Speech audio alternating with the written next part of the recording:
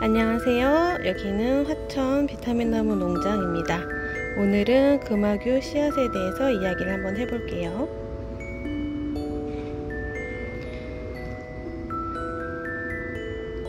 금화규 꽃을 따지 않으면 금화규 열매가 생기는데요. 어, 금화규 초록색 열매에서 짙은 갈색이 될 때까지 기다렸다가 열매를 받습니다.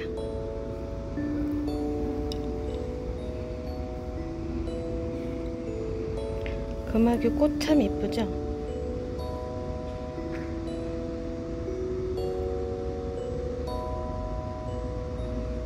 오늘 아침에는 금화규 열매를 땄습니다. 어, 금화규 열매 딸 때는 음, 가시가 털이 있어서 조심하셔야 돼요. 그리고 열매가 벌어지기 시작하면 속에 있는 씨앗이 떨어지거든요. 그래서 이왕이면은 음, 열매를 수확한 후에 어, 건조가 돼서 바삭바삭하게 소리가 날 때까지 기다렸다가 열매를 받는 게 좋습니다.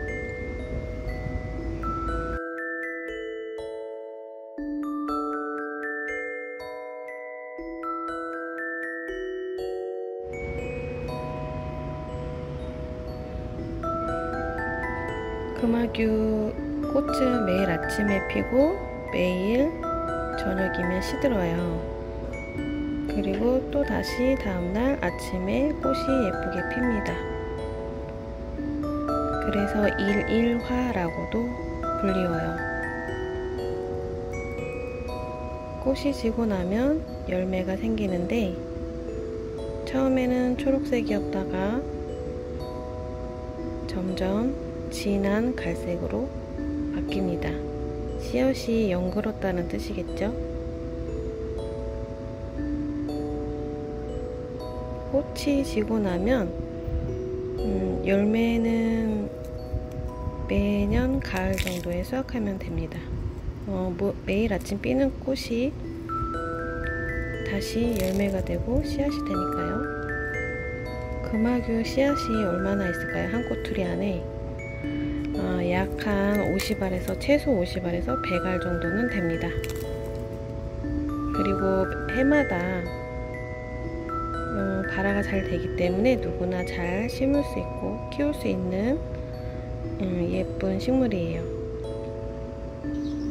보관은 건조한 곳에 서늘하고 건조한 곳에 보관하는 게 좋고요. 어, 초록색 열매일 때 씨앗에 씨앗이 하얗게 돼 있거든요. 이때는 콩처럼 먹어도 된다고 합니다. 그리고 그 금화교 씨앗을 잘 여물어, 여물은 씨앗을 기름을 짜도 된다고 하네요. 그냥 두루두루 사용할 수 있는 것 같아요.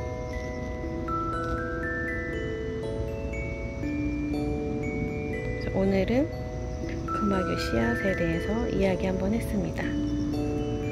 어, 이제부터는 꽃을 안 따고 금화교 씨앗을 만들어 보려고 합니다.